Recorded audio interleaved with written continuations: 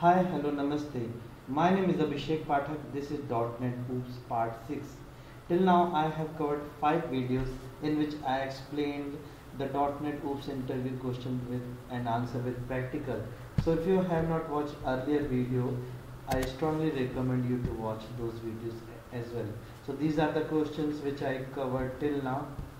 This is the part 6 in which I'll cover the few important question and these question will be related to console application. Okay? So uh, these questions were asked when i was a fresher. So let's read out first question. Is it necessary to have main method in console application?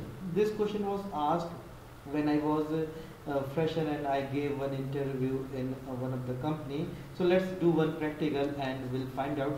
Is it compulsory to have main method? So let's move to visual studio so this is the visual studio and uh, as you can see we have one class and in this class we have main method.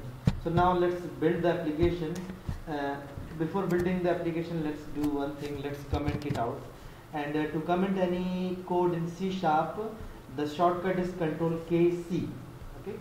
And uh, right click and say build. And we'll see. Now it's building the application. As you can see we have one error. Program does not contain a main method suitable for entry point. So answer is yes. Uh, is it it's mandatory to have a main method in console application because this is called entry point. And if you read out the error at last what is written? Main method suitable for entry point. Because it's a console application program must start from somewhere. That starting point is main method. Okay? So let's uh, uncommented and shortcut to uncomment is control KU again I'm repeating control KU okay? So let's go to uh, slide and compile time error or runtime error. So as you can see we got the compile time error. If I run the, this application okay let me comment it out. Then I'll run this application and how we can comment again control KC. So the question is will get the compile time error or runtime error. The answer is compile time error only. Okay. So let's uh, let's read out another question. Is it necessary to have parameter in main method? As you uh, last time if you have noticed in main method uh, we had uh, one parameter okay as you can see this parameter. If we comment this parameter or remove this parameter so will our application will compile? Yes it will compile. Because it is not mandatory to pass this parameter. As you can see build one succeeded. Okay? So the answer is uh, is it necessary to have main uh, parameter in main method? No. Can we have two main method? Let's uh, go to visual studio and what I'll do I'll copy this add one more class and paste it there so that we can check whether we can have two main methods. So let's add one class add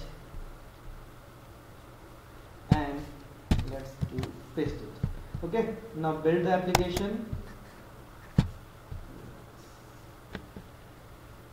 Okay so program has more than one entry point denied compiled with main or something something it means we can have only one main method because because we can have only one entry point in any of program. Program cannot start from two uh, entry point. That's why we can have only one entry point of main method. Last question. Uh, can we have main method in some other class?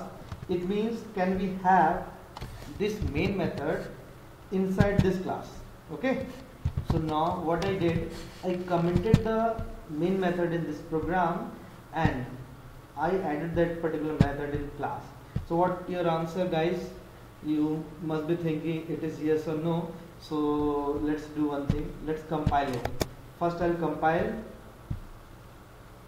So okay. So compile succeeded. It means there is no error so maybe you are wondering, can we run it? So let's do one thing, let's give one message. Hi. And uh, console.readline. Console dot